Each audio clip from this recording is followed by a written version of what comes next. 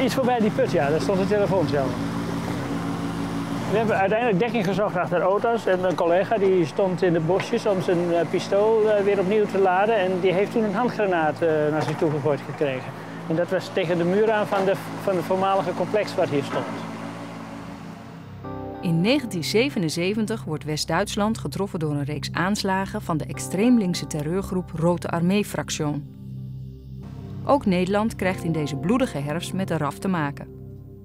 Na incidenten in Den Haag en Utrecht is Amsterdam-Osdorp in november het toneel van een schietpartij tussen RAF-leden en de Nederlandse politie.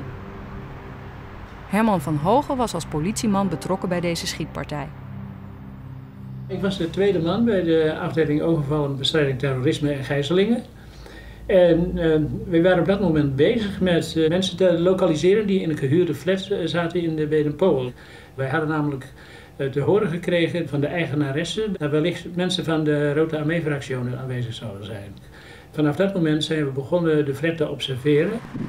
Het is ons toch gelukt om een uitstekend zicht te krijgen op de, op de flat hier, hier achter ons, waar, waar, waar die twee uh, RAF-jongens zaten. En van daaruit konden ze worden geobserveerd vanuit de Klaas Katerstraat. Wij veronderstelden op grond van het onderzoek in de flats en bij de eigenaresse dat een van de meest gezochte Duitse terroristen daar aanwezig zou zijn, de heer Clemens Wagner. Maar wij wisten verder niet uh, wie die ander was. We zijn dus van die veronderstelling uitgegaan met Wagner te maken te hebben. Ongeveer een uur of half zeven zijn ze weer de flat uitgegaan. En toen hoorden we van een collega dat uh, ze in de telefooncel stonden. En dus zijn we met z'n drieën heen gegaan met doorgeladen vuurwapens. Je hebt besloten te doen wat je hebt voorgenomen. Wanneer zij niet doen wat wij zeggen, gaan we schieten. En toen is er ogenblikkelijk een vuurgevecht ontstaan. Wij hebben geschoten en ik weet nu nog steeds niet wie het eerst begonnen is. Uh, ik heb voor de rechtbank gezegd dat ik dat was. Of in ieder geval dat wij dat waren. Maar of dat in werkelijkheid zo is, dat is me nog helemaal niet duidelijk.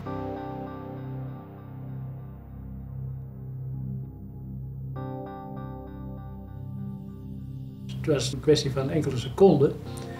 En uh, uiteindelijk uh, zijn ze op de grond gaan liggen. En, en terwijl die ene, dat bleek later Snijder te zijn, die wist nog, ondanks de schotwonden, toch nog een handgranaat te gooien, waardoor een collega zeer ernstig is gewond geraakt. De terroristen blijken Christoph Wakkernagel en Kert Schneider. Een jaar na de schietpartij worden ze uitgeleverd aan de Bondsrepubliek. Daar krijgen ze 15 jaar celstraf. Als Wakkernagel en Schneider zeven jaar hebben uitgezeten, krijgt Van Hoge het verzoek om hun vervroegde vrijlating te steunen.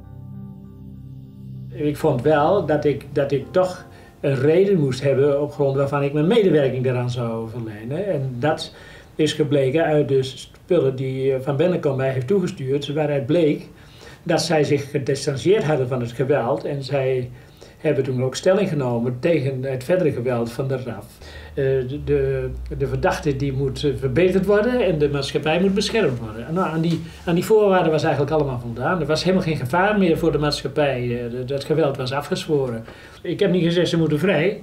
Ik zeg wanneer de rechtbank van mening is dat zij op grond van hun argumenten in vrijheid kunnen worden gesteld, dan ben ik daarmee ingenomen.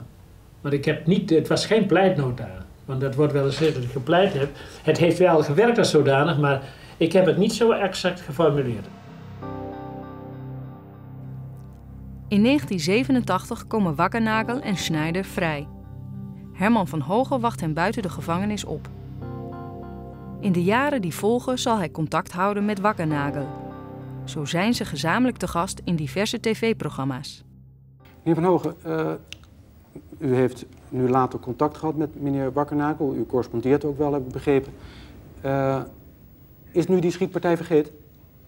Nou, je moet natuurlijk nooit vergeten wat er gebeurd is. En, uh, als het koud is, dan voel ik ook nog, uh, ja, dan heb ik nog wat sluimerende gevoelens daarover. Maar ook, je, moet, ook je herinnering uh, blijft er natuurlijk altijd voortgaan. En ik, ik moet aannemen dat het bij Wakkernagel net zo is dat, dat hij geconfronteerd met, met wat er toen is, heeft plaatsgevonden. Dat, dat verdwijnt nooit meer. Wat was het voor ervaring voor u? Of vond u het verrassend dat nu uitgerekend een Amsterdamse politieagent op wie u geschoten had, ja. dat die uh, ertoe wilde bijdragen dat u eerder vrij zou komen? Dat was een zeer grote verrassing.